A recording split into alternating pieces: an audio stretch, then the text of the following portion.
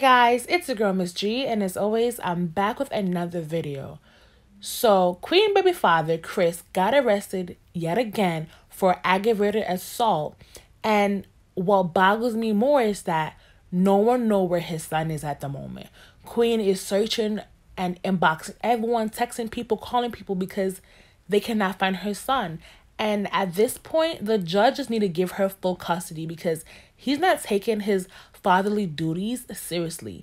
And at that point, you're putting your child danger in life and it's having random people around you where you're not getting the point that you can't do that anymore and you need to get your shit together and you're getting arrested because you can't keep your hands to yourself. That means you're having major issues. You need therapy.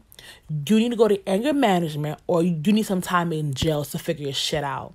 So please post, share, subscribe. Tell me how you feel about this video because I'm angry because literally at the time right now, you should not be getting arrested or pushing hands on people over some dumb shit right now. So pray for Queen and hopefully she can find her son at the moment. Right now, she she cannot find her son and she's calling everyone to know where he is and now she's in a panic mode right now because her child could be in danger and she does not know what's going on. So pray for her son, y'all. Make sure to like, share, and comment down below. Until next time.